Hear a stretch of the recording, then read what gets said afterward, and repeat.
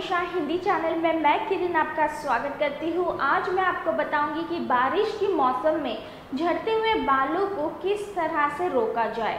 वैसे तो दोस्तों, बारिश का मौसम आ चुका है। ये मौसम जितना हमें पसंद है, उतना ही हमारी ब्यूटी के लिए इसकी वजह से बहुत ज़्यादा परेशानियाँ हो जाती है। और सबसे पहले इसकी वजह से हमारे बालों को परेशानी होती है, क्योंकि हमारे जो बाल है, वो झड़ने लगते हैं। आप सभी को पता है कि बारिश का जो मौसम होता है, वो बहुत ही नमी वाला होता है, बहुत ही ह्यूमिड वाला होता है। और इसी की वजह से हमारे बालों में भी बहुत सारी परेशानियाँ चालू हो जाती है। तो दोस्तों, आज मैं आपको इस वीडियो में बहुत ही इंपॉर्टेंट इंपॉर्टेंट टिप्स बताऊँगी, जिसे आपको पक्का सुनना चाहिए।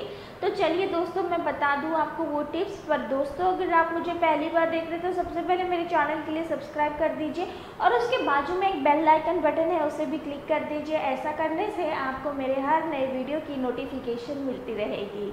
तो सबसे पहले दोस्तों मैं आपको बता दूँ कि बारिश की मौसम में, चिपचिपे मौसम की वजह से हमारे बाल भी बहुत ही ज़्यादा चिपचिपे और बहुत ही ख़राब लगने लगते हैं और इन्हीं सभी की वजह से हमारे बालों का झड़ना चालू हो जाता है।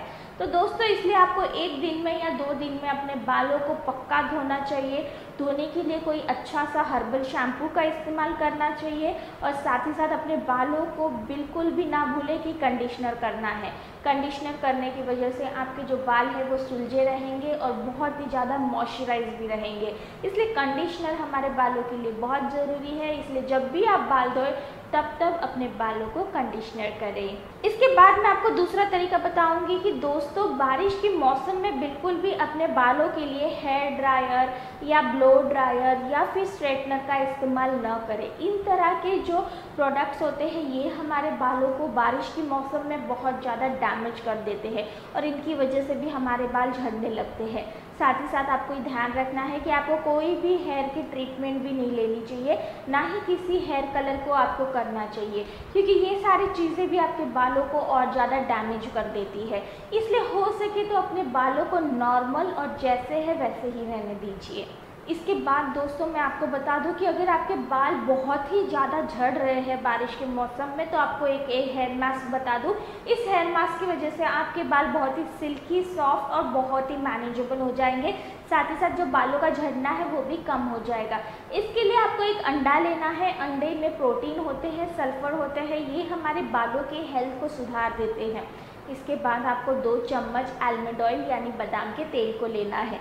बादाम के तेल में भी विटामिन ई बहुत ज़्यादा मात्रा में होता है। ये हमारे बालों को ग्रोथ करता है और उन्हें बहुत सारी हेयर प्रॉब्लम से भी दूर रखता है।